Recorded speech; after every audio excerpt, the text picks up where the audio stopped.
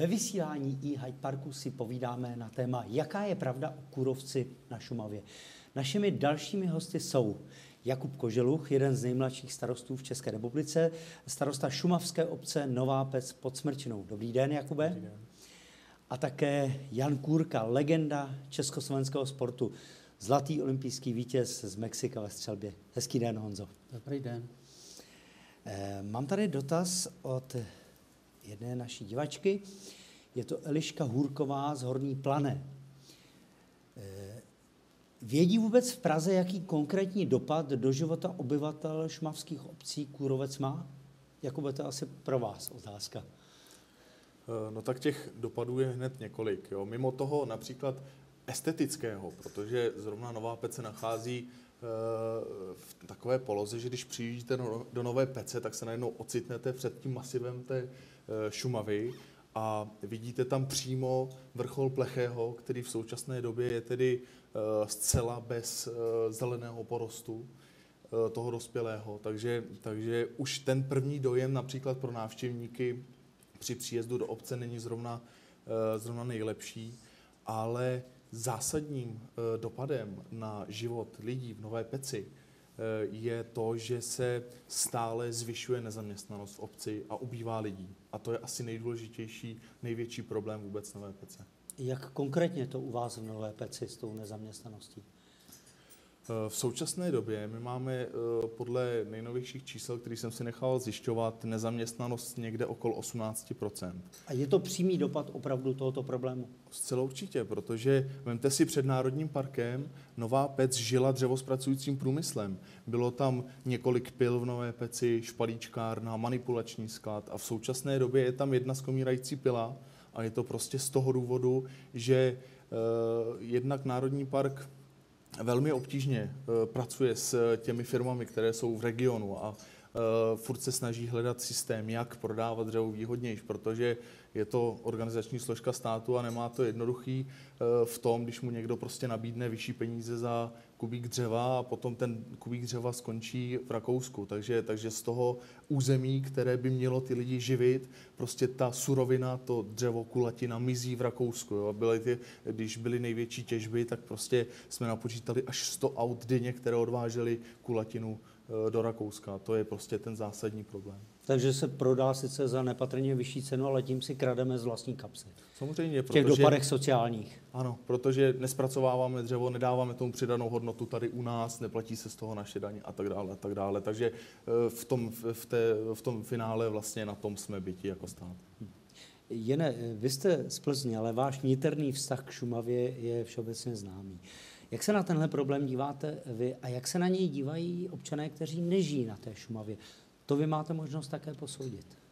Tak eh, tento problém mě osobně velmi vzal u srdíčka, když jsem po, já nevím, po sametové revoluci, tak jak bylo ale mým zvykem eh, dlouhá, dlouhou řadu let jezdit na Šumavu. A když jsem tam přijel v těch 90. letech a najednou jsem tam zjistil, že tam najednou se něco strašného děje.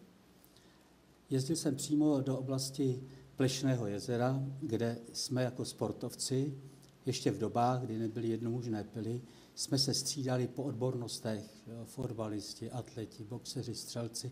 Jsme tam jezdili vždycky na 14 dnů a pomáhali jsme místním lesákům zpracovat ty pokácené stromy.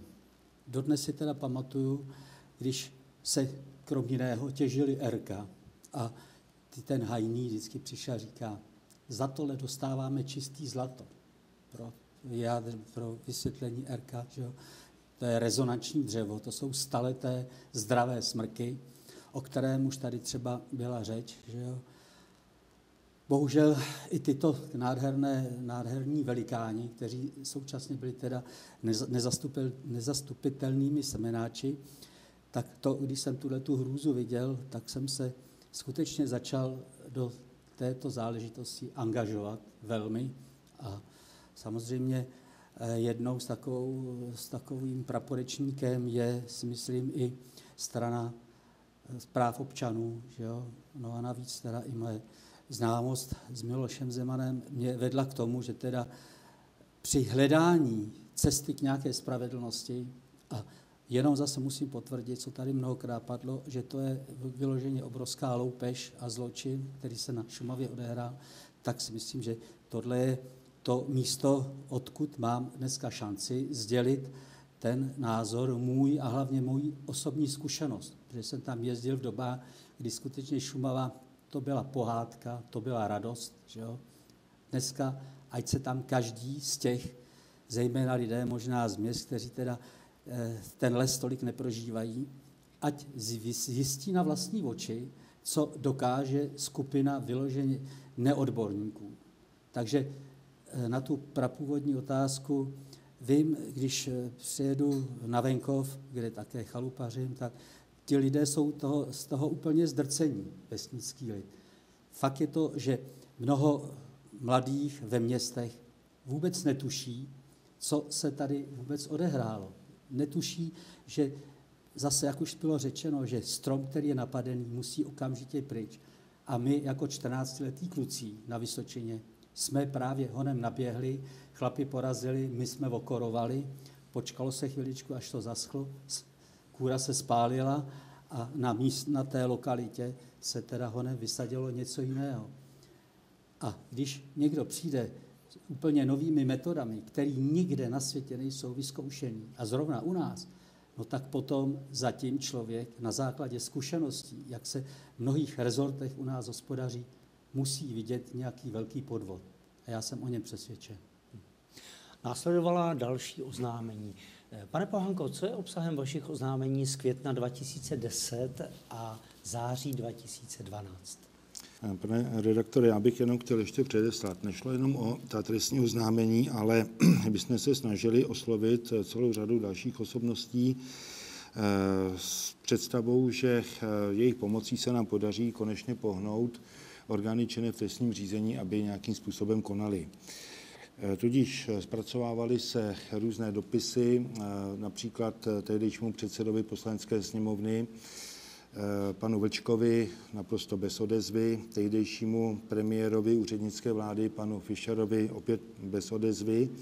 A jední z mála, eh, kteří projevili zájem a podpořili nás svým způsobem, byl například pan prezident Klaus, eh, pan předseda komunistické strany Vojtěch Filip, pan senátor Tomáš Jirsa, pan hejtman Jiří Zimola a všichni víte, že vlastně to spektrum z různých politických stran, to znamená, ne, nebyla to záležitost jenom Zemanovců nebo pana e, tehdejšího prezidenta Zemana, strany práv občanů Zemanovci, ale celá tato fronta se snažila nějakým způsobem eh, té věci pomoci.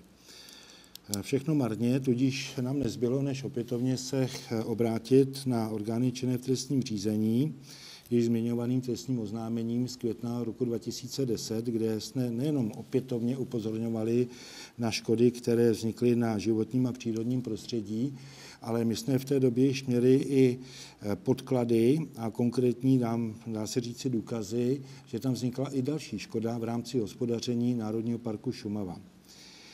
Eh, my jsme čerpali z oficiálních informací, například eh, z internetových webových stránek o hospodaření Národního parku Šumava, kde jsme zjišťovali například takové zvláštnosti, co se týče eh, cen těžby dřeva, nebo nákladů na těžbu dřeva, eh, které eh, výrazně převyšovaly náklady zjišťované například v lesích České republiky nebo u vojenských lesů. Naproti tomu prodejní cena toho dřeva zase byla diametrálně odlišná v neprospěch parku. Zjišťovali jsme, že v období po orkánu Kyriel mělo dojít k tomu, že bylo položeno nebo pokáceno obrovské množství dřevních hmoty, která podle tvrzení Národního parku a tehdejšího ředitele pana Krejčího měla zůstat na místě, podléhat nějakému zetlení, to jsou odborné věci, kterým já až tak nerozumím, prostě ta dřevní hmota měla zůstat tam, kde byla položena. Mluví se, nebo zjistili jsme, že se má jednat o 186 tisíc, tisíc kubických metrů té dřevní hmoty. Nikdo neví, co se s nimi stalo a další a další věci. Tudíž my jsme to trestní oznámení koncipovali nejenom už na to poškození životního prostředí, nečinností vedení Národního parku příslušnými ministry pro životní prostředí, ale i podezřením, že zde docházelo nebo mohlo dojít nějaké ekonomické trestné činnosti. V rámci tohoto oznámení z května roku 2010, které jsme skutečně konzultovali s obrovským množstvím odborníků, právníků a tak dále, my jsme nabídli policii České republiky, aby v rámci prověřování tohoto oznámení provedli výslechy celé řady osob, které jsou přímo jmenovány v tom podnětu, počínaje zmiňovaným panem inženýrem Karlem Simonem, ale například i inženýrem Františkem Bendou, eh, také exministrem pro životní prostředí, eh, bývalým ředitelem parku Ivanem Žlábkem, panem doktorem Pidhartem, dokonce panem inženýrem Milošem Zemanem, tehdy nikoli tedy prezidentem, a celá řada dalších a dalších osobností, včetně například eh, paní doktorky Milady Emerové a tak dále. Eh, pokud je mi známo, tak nikdo z těchto snad 20 lidí, eh, který my jsme uvedli v tom oznámení, nebylo ani osloveno policijními orgány. Alespoň já o tom nevím. Když jsme chtěli nahlédnout do prověřovacího spisu, bylo nám řečeno, že jako oznamovatele nemáme ze zákona nárok. Ano, tak to je tedy v trestním řádě. A to oznámení také bylo odloženo. Proto s vývojem celé té situace a e, postupně, jsme zjišťovali ještě další a další skutečnosti, víceméně už se týkající e, ekonomiky hospodaření v Národním parku Šumava a narůstající škody, tak prostě jsme přikročili zatím k poslednímu trestnímu oznámení ze září roku 2012, e, které bylo podáno rovněž na státní zastupitelství v Českých Budovicích, na krajské státní zastupitelství po půl roce, aniž bychom měli eh, jedinou informaci, jak se koná nebo nekoná, tak po půl roce jsem obdržel žádost policejního orgánu o doplnění tohoto oznámení, abychom například doložili, kdeže se pohyboval eh, pan inženýr Miloš Zeman, eh, když byl na Bučině a co, v jaké společnosti lidí se tam pohyboval a co by tito lidé eventuálně mohli dosvědčit v rámci zjišťovaných škod na eh, Národním parku Šumava. I to jsme doplnili.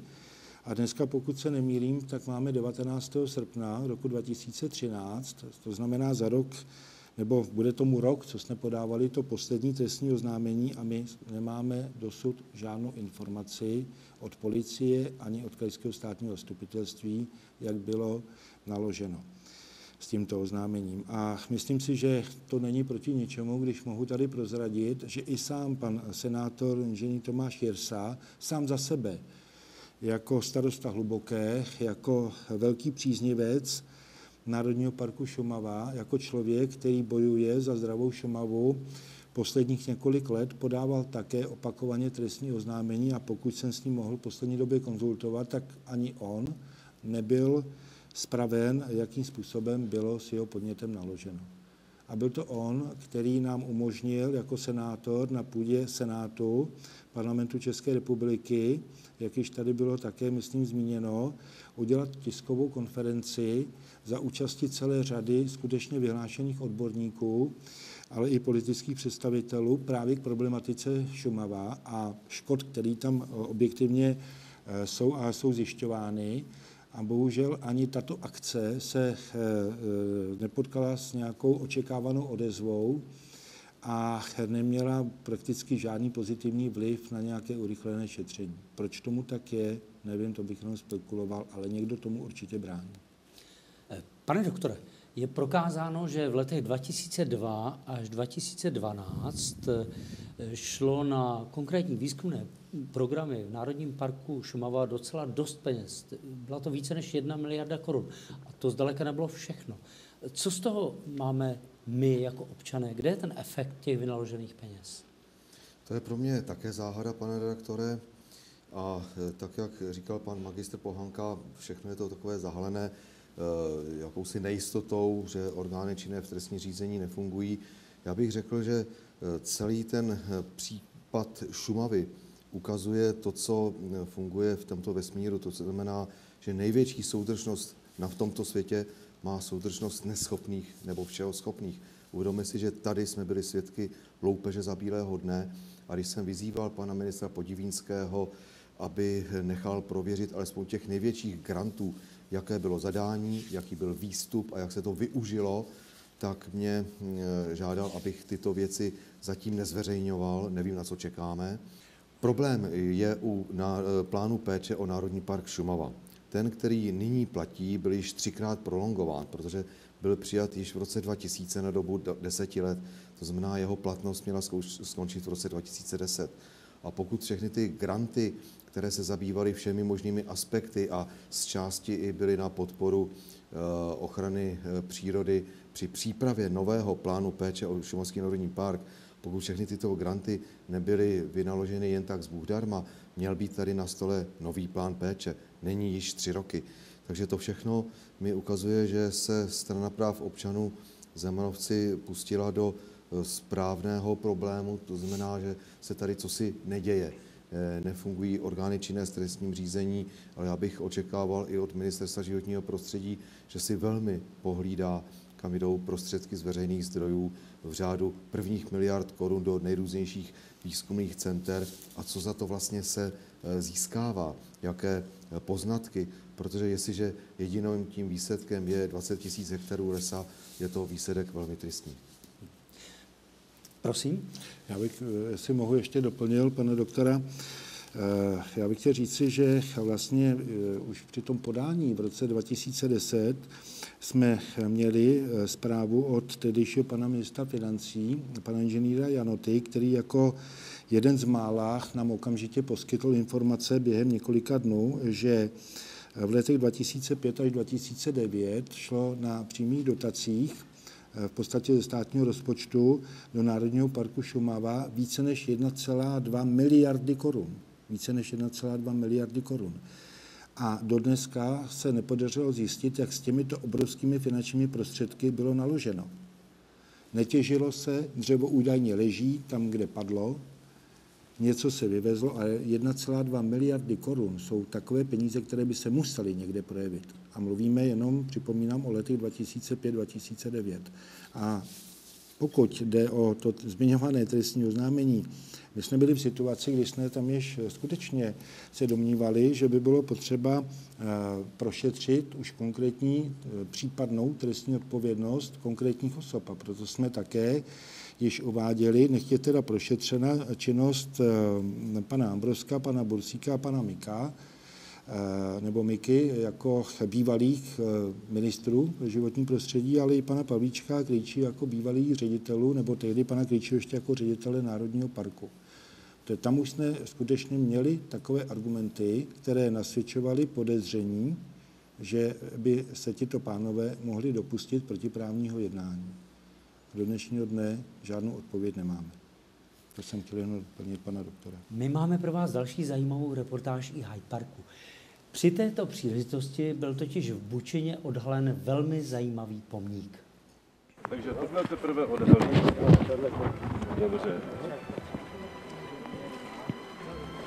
Dámy a pánové, nerad se chlubím cizím peřím, zvláště když se mě ani nedaří položit správně věnec.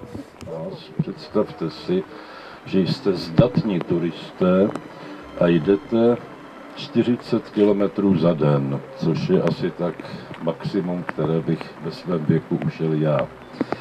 A představte si, že jdete uschlým lesem, což je nesmírně smutný pohled. A protože, jak už jsem před chvílečkou říkal, rád objímám stromy, přiznávám se, že objímám rád zdravé a krásné stromy, Nikoli stromy uschlé, nikoli stromy mrtvé. Člověk i strom mají svoji hodnotu teprve tehdy, jestliže žijí. A já bych místo dlouhých řečí velice rád poděkoval kolegovi Martanovi za to, že zorganizoval tyto dva pomníky. Ten první je pomník těm mrtvým stromům.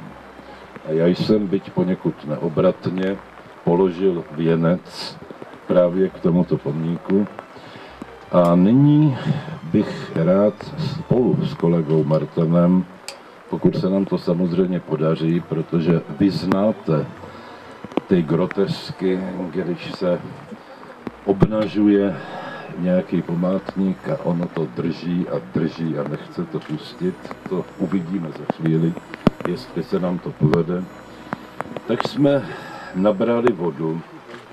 Není to slivovice, jak se možná domníváte, je to skutečně voda z pramene Vltavy. A i když jsem omylem ten věnec dával tamhle, tak si myslím, že deska vyníků této katastrofy, kteří sem zcela určitě přijdou, zcela určitě budou podávat žaloby pro urážku na cti a zcela určitě se patrně v noci budou snažit tento druhý památník, památník živých vyníků odstranit, tak ty si opravdu nezaslouží nic jiného, než abychom je polili touto vodou. A prokazujeme jim nad to ještě nezaslouženou poctu tím, že je poléváme vodou z pramene Vltavy, protože jak jsme tam teď byli, tak vy víte, že oni vytvořili fiktivní pramen Vltavy, protože ta stezka, která vedla k původnímu prameni, je už dnes v kůrovcovém porostu, je zavřená, je částečně rozbitá, protože ty spadadlné stromy ji přehradily. Viděli jsme vysazené, uměle vysazené javory, kterými zde takzvaní ochránci životního prostředí manifestují přirozené omlazování šumavského lesa. Viděli jsme, jak říkal pan ředitel Stráský, uměle pilou ruční z plošiny, ořezané uschlé kůrovcové stromy tak, aby vypadaly pro návštěvníky stezky jako stromy po polomu. Viděli jsme prostě tři Potěmkinovy vesnice, které tito lidé způsobili, aby naivní turisté se mohli domnívat opak pravdy. A já, kolego Martané, pevně doufám, že na té desce 16 jmen nebude chybět ani jméno policistů, státních zástupců a jak jsme slyšeli od doktora Pohanky, těch, kteří jim k tomu dali příkaz, aby dosavadní tři trestní oznámení na vyníky této katastrofy, a pozor, to není katastrofa živelná, to je katastrofa lidská, tak aby tato trestní oznámení byla odložena a zamítnuta, ale protože člověk se nemá nikdy vzdávat, podáváme trestní oznámení po čtvrté. A kdyby nám to náhodou nevyšlo, podáme ho po páté, po šesté a po sedmé. A sedm je šťastné číslo, tak to snad konečně vyjde. Děkuji vám za pozornost a jdeme polévat vyníky této katastrofy. My to oba rukou společnou a nerozdílnou uchopíme a teď se to buď podaří, nebo nepodaří. Podaří. Tak. Kdo za to může? Takže můžeme to přečíst? No, já bych to nechval pod střechu, nebo jak?